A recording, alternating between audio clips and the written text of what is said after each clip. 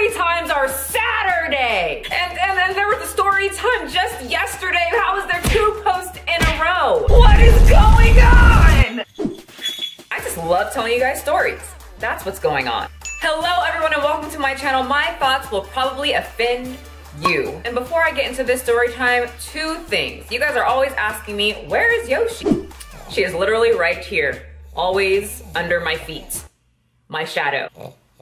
And two, I see that my I only date white guys video is kind of doing that whole blow up thing. And some of you people are new here and don't understand my clickbait titles. Not all of them, but most of them. You know, like the real triggering one. If you think that I'm going to limit myself to only one race, you are just delusional and didn't actually watch the video. I mean, who gets on a video platform and doesn't actually watch the video or listen to? A lot of people. And since that video is a hot topic on my channel right now, I figured I would just play it off and uh, piss off or entertain, or both, with a storytime video. The time I told my dad that I was dating a white boy.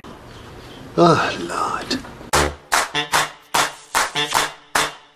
So if you've been here for a while, then you know that me and my dad do not have the closest relationship. I got daddy issues, y'all, yes. It's great, it's wonderful. I, I, I, I love it. When I lived with them when I was younger, I would say that I was more cordial to my dad. I showed him respect. I was living in his house, so it was more like just being cordial when he actually was around. It was literally a hi dad, bye dad, happy birthday, happy Thanksgiving, and Merry Christmas for the majority of my 20 something years. I don't need to get into details about my narcissistic father and how it me mentally, but if you want more information of those story times, I will link them below. So I ended up meeting my boyfriend on a site called OkCupid. I usually don't introduce men to my friends and family because one, it's none of their business. And two, back then I felt like whenever I would introduce someone that I was talking to, that it would literally just crash to the ground shortly after. And then I would have to explain to everyone what happened and that I'm just going to be a lonely piece of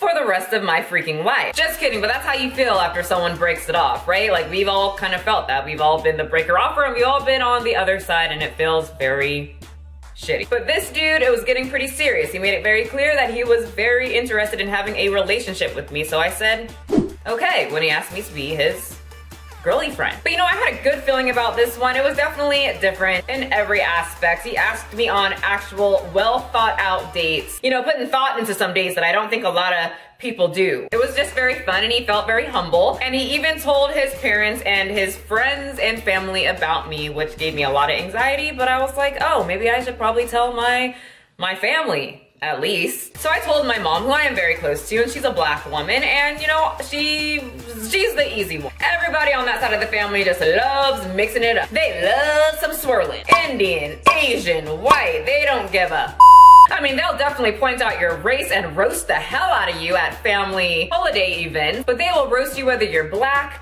white, Asian, it doesn't matter. They will roast you. They do not discriminate with their roasting session, no matter what race you are. They're very loving in that way. Now, my dads and the people that I have met on that side are completely different. That side is very traditional. You must choose a partner that went to college. Choose a partner that graduated from college with a very impressive degree so that you can brag about someone else's accomplishments to your family and friends. They must have a great corporate job or have their own business making lots of money. They must be strong and a big man. That's the head of the house, the cerebral things. the person that makes all the rules and loves football. Because what kind of man doesn't like football? Because if you're a man and you don't like football, you're gay, right? Totally. So I head into my dad's room while he sits in his big king chair, while he pops those damn sunflower seeds. And I say, hey dad, I have a boyfriend now.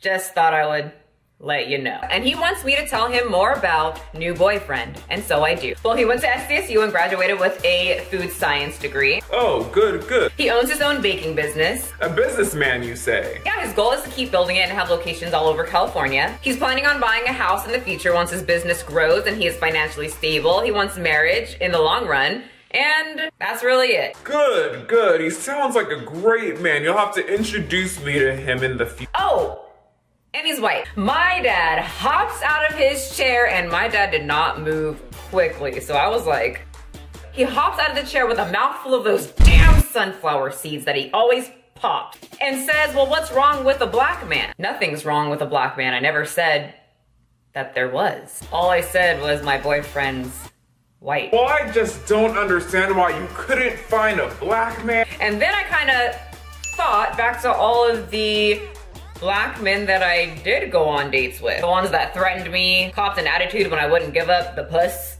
you know, the, the vagina was just rude or maybe I just didn't have any connection. And that wasn't just black men, it was the Asians that I date, the white guys that I dated, the black men that I dated, the one Indian. That little group was just assholes. And I wasn't just going to settle for one of the black guys that I went on a date with just because he was black. So I could fulfill this black prophecy that my dad had for me and my future relationship. I went on some dates with some pretty horrid dudes of all colors that I said, you two, pretty quickly. My use do not discriminate. But I thought it was just funny that he just thought or maybe expected me to just go out and just find a, any black guy and be like, I choose you. And we have a magical connection. He has all the things that my dad requires in a man, all while treating me amazingly and black all at the same time. I mean, that's pretty difficult to find any man that has all those things on a regular basis. And don't get up here saying, well, you know, women are pretty horrible pieces of too.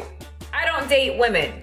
I don't really care. Back to the topic. I'm not going to discriminate someone that I have a connection with just because they aren't the same shade that I am. So he's going on his little tangent and I just walk back downstairs and pass up my mom like, hey, just told dad I'm dating a white boy. So speed up to us living in Arizona. It's three years later, so obviously it's getting a little serious with my boyfriend. And I'm in Arizona, he's still in California, so we're doing this whole long distance thing and I visit him in Cali, he comes to Arizona and visits me. And the first day that my boyfriend gets in town. My dad pulls him aside into his man cave with his football shit everywhere. Football's blazing on the big screen. Football's probably on the computer. Football's probably on my dad's iPhone. So he calls my, my boyfriend in there, you know, come on, into my man cave. Thank you for being such a good man to my daughter. I really appreciate it. Thank you, sir. You know, I always wanted Michelle to end up with a black man, but you know,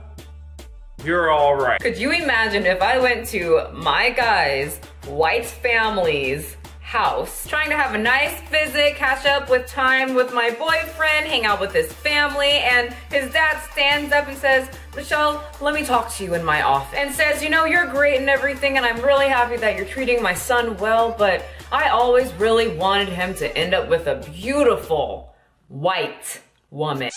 But I guess, I guess, you know, you're okay too. I would have no issue saying, you, you bastard die. Anyway, that's the story about when I told my dad that my boyfriend is a white boy. Do you like to mix it up? Are you a swirler? Or do you prefer to stick to your own race? I do have a question though to people who prefer, not really prefer, but like they are just, they do not date anyone else. Like the ones who say that they are not attracted to any other race, just their own. I have a question for you that I've always kind of wanted to know. And I really have absolutely no problem with these people. If you only date black people, if you only date white people, if you only date Asians, I don't care. That's your preference. But if you found someone that they were just hilarious, you had a great time with, I mean, I mean, your heart just fluttered just hearing them speak. And you were physically and mentally just overly attracted to this person, but there was a catch. And you know what catch? I'm gonna tell you. They were a different race. Would you just slice them out of the possibility of being a romantic